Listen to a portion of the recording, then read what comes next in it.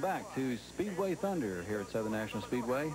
We're just about ready for the GWR Construction Sportsman event. In fact, it's underway right now as they come around the fourth turn. At the end of the first lap, it's Jamie Mozingo in car number 22. He takes the lead and holds on to the lead flag to flag in this race. The number 48 car and the number one car, John Whitley, uh, locked up in a tight battle there for the second yeah, position. this is John Whitley's first time on this track. He's raced dirt track, and uh, he's done fairly well at it.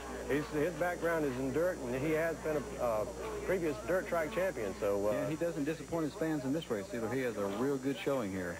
The number 48 car, John Batten, running in second place there, and Whitley right on his tail. Mozingo way out in front and showing the way at the moment. Caution flag coming down. We've got a problem right in front of the leaders down in turn Yeah, three. Frank Dominic hits the back of Mozingo, and wow, busts his radiator wide open.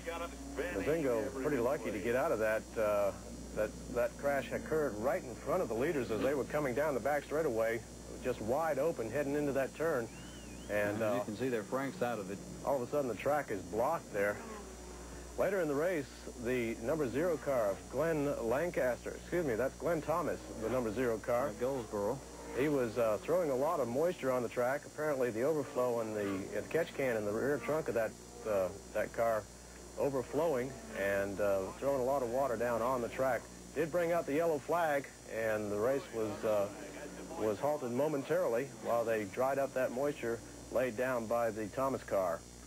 Got fluid on the flaps completed. Got some uh. The track officials pulling Thomas over and explaining to him that the moisture is coming from his car and he needs to pull that car into the pits and get that problem taken care of. Thomas did return to the track later on in the race and the problem resumed and actually brought out a third caution period. So Thomas having a tough luck tonight. The number eight car of Deke McCaskill and the number one car, of John Whitley, locked up in a tight battle for second place. That race went door handle to door handle for about 30 laps. But coming around the start-finish line to end this race, it's Mozingo finishing in first.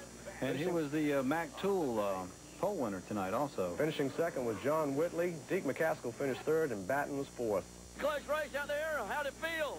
Uh, it felt real good. The car was working perfect. I can't thank the crew enough and uh, all the sponsors. I tell you, it was kind of tough out there. There's about eight or ten cars in this class that really can win this race. I mean, we got lucky, got the pole. That's two consecutive weeks in a row.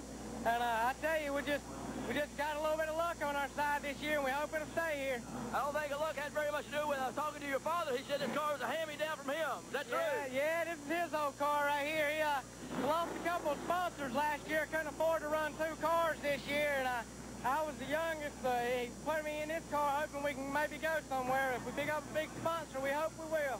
Obviously going towards the front, the number 22. Congratulations on your first win out here, Southern.